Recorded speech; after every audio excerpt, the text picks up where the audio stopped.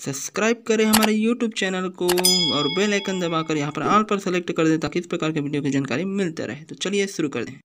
हाय दोस्तों welcome back दोस्तों। आज की वीडियो में बात करने वाले हैं कंप्यूटर और मोबाइल के डेटा ट्रांसफ़र के बारे में। वीडियो में हम बताएँगे कि किस प्रकार अपने जो है बिना केबल के, बिना इंटरनेट के आप जो है अपने मोबाइल से कंप्यूटर में और कंप्यूटर से मोबाइल में डेटा को जो है आसानी से ट्रांसफ़र कर सकते हो।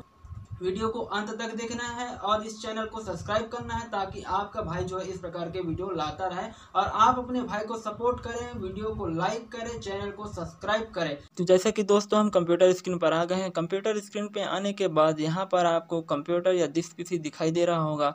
वहाँ पर क्लिक करना है। वीडियो में आगे बढ़ने से पहले आपको बता दूँ, इसको जो एक्सेस करने के डेटा को दो तरीके होते हैं और कुछ प्रॉब्लम भी आते हैं। कई लोग इसके बारे में जानते होंगे, लेकिन कुछ प्रॉब्लम भी होते हैं, जिसका सोल्यूशन इस वीडियो में बताने वाला हूँ। तो पूरा वीडियो को अंत तक देखना है। वीडियो अच्छा लगे तो लाइक ज़रूर करना है दोस्तों। तो मैं आप लोगों को एक बात पहले बता दूँ कि आपको इस चीज़ को करने के लिए अपने मोबाइल में एक एप्लीकेशन डाउनलोड करना होगा, जो कि यहाँ पर स्क्रीन में मैं आप लोगों को दिखा देता हूँ, कैसे करना है।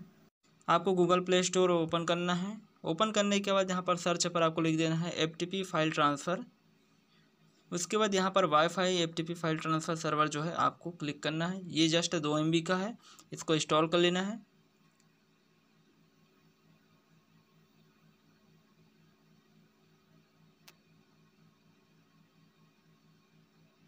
इसके बाद इसको ओपन कर लेना है सिंपली ओपन करने के बाद इस प्रकार से ओपन हो जाता है। अब यहाँ पर आपको एक सेटिंग करना होगा। जैसे कि यदि आप चाहते हो कि अपने मोबाइल में लगे कोई मेमोरी कार्ड से आप डेटा को एक्सेस करना चाहते हो या ट्रांसफ़र करना चाहते हो तो आपको यहाँ पर सेटिंग पर क्लिक करना होगा। नहीं तो ये जो है ऑटोमेटिक डिफ़ॉल्ट रूप से जो है आपके मोबाइल के मेमोरी को जो है दिखाता है, शो करता है। तो यदि आप मेमोरी लोकेशन चेंज करना चाहते हो तो यहाँ पर जो है रूट फोल्डर पर आपको क्लिक करना है और यहाँ पर अपने हिसाब से जो है सेलेक्ट कर लेना है कि किस फोल्डर को आप जो है एक्सेस करना चाहते चाहते हो किस फोल्डर को जो है अपने कंप्यूटर में दिखाना चाहते हो। तो यहाँ पर डिफ़ॉल्ट रूप से मेमोरी कार्ड जो है मोबाइल का सेलेक्टर रहता है। यदि आप दूसरे फोल्डर या किसी पर्टिकुलर मेमोरी वगैरह लगाकर उसको एक्सेस करना चाहते हो तो यहाँ पर सेलेक्ट कर लेना उसको। तो फिर यार यहाँ मैं डिफ़ॉल्ट पे रहने देता हूँ। उसके बाद आपको क्या करना होगा, अपने मोबाइल का वाईफाई हॉटस्पॉट जो है उसको ऑन कर लेना होगा यहाँ पास। और उसको अपने कंप्यूटर से कनेक्ट कर लेना होगा। कनेक्ट करने के बाद यहाँ पर आपको जो है स्टार्ट जो बटन है वहाँ पर आपको क्लिक करना होगा। यहाँ पर आपको अलाउ करना होगा। उसके बाद यहाँ पर जो है आपका जो है स्टार्ट हो चुका है एफटीपी सर्वर। और यहाँ पर आपको जो है सर्वर यूआरएल दिखाई दे रहा है। उसको आपको कॉपी कर लेना है किसी आ, टेस्ट वगैरह में। तो चलिए आगे का प्रोसेस कंप्यूटर में बताते हैं। उसके बाद दोस्तों, आपको क्या करना होगा? यहाँ पर कंप्यूटर जिस पीसी में क्लिक करना होगा। क्लिक करने के बाद इस प्रकार से जो विंडो ओपन होगा, यहाँ पर आपको जो है राइट क्लिक करना होगा। एडिट नेटवर्क करके दिखाई दे रहा है, वहाँ पर आपको क्लिक करना होगा। नेक्स्ट पर क्लिक करना होगा, उसके बाद और नेक्स्ट पर क्लिक करते हैं। यहाँ पर उस एफटीपी सर्वर को आपको जो है पेस्ट कर देना है। इस प्रकार से उसके बाद नेक्स्ट क्लिक करना है, उसके बाद आपको और यहाँ पर अपना नाम देना चाहते हो तो दे सकते हो, नहीं तो आपको नेक्स्ट पर क्लिक करना है। ठीक है? नेक्स्ट पर करते रहना है, क्लिक, उसके बाद फिर फिनिश कर देना है। फिनिश करने के बाद देखिए आपका एफ़ सर्वर जो है ओपन हो चुका है। ठीक है, उसके बाद आपको क्या करना है?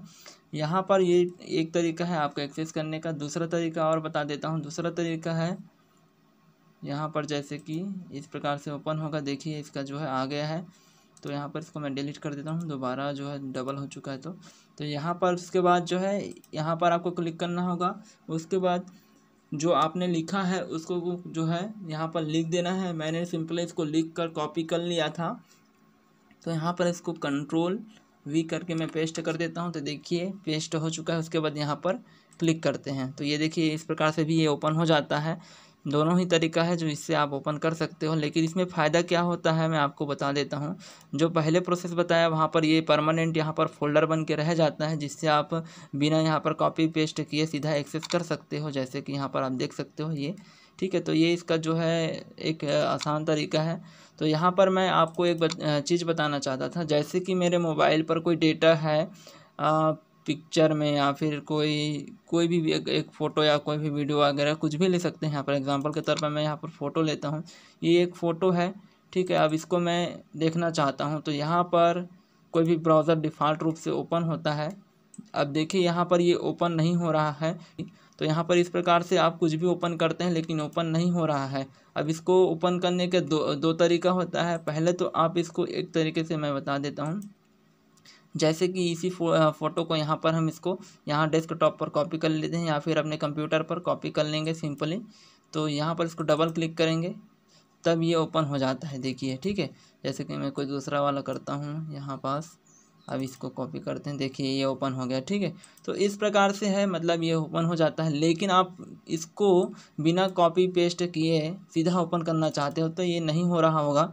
तो इसके लिए भी एक सेटिंग है, मैं आपको बता देता हूँ क्या करना होगा। उसके लिए आपको सिंपली यहाँ पर जो है स्टार्ट मेन्यू पर जाना होगा। यहाँ पर आपको डिफ़ॉल्ट प्रोग्राम में जाना होगा, जैसे कि यहाँ पर डिफ़ॉल्ट प्रोग्राम करके दिया है। वहाँ पर जाना है, वहाँ पर जाने पास यहाँ पर आपको सेटअप योर डिफ़ॉल्ट प्रोग्राम दिया होगा। यहाँ पर क्लिक करना है और क्लिक करने के बाद आपको यहाँ पर क्रोम जो है गूगल क्रोम वहाँ पर क्लिक करना होगा। क्लिक करने के बाद यहाँ पर आपको जो है choose default for this program यहाँ पर आपको क्लिक करना होगा। क्लिक करने के बाद यहाँ पर जो है आपको एफ़ सर्वर का जो है दिखाई दे रहा है फ़ाइल ट्रांसफ़र प्रोटोकॉल करके। तो FTP का जो है आपको यहाँ पर क्लिक कर देना होगा तीनों में, ठीक है? ऊपर का मेन है, फिर भी यहाँ पर FTP लिखा है तो सभी में क्लिक कर देते हैं जितना FTP संबंधित है। तो उसके बाद यहाँ पर आपको सेव पर क्लिक कर देना होगा। इसके बाद आपको यहाँ पर ओके पर क्लिक कर देना होगा। तो मैं ओके पर क्लिक कर देता हूँ। ये हो गया, इसको मिनिमाइज़ कर लेते हैं। अब ओपन करके देखते हैं।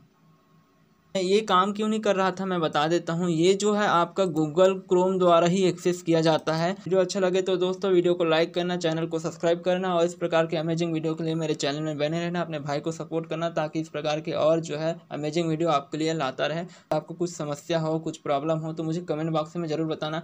हो सके मैं आपका जो हेल्प करने की कोशिश करूँगा। तो मिलते हैं अगले वीडियो में, अब तक के लिए जय हिंद।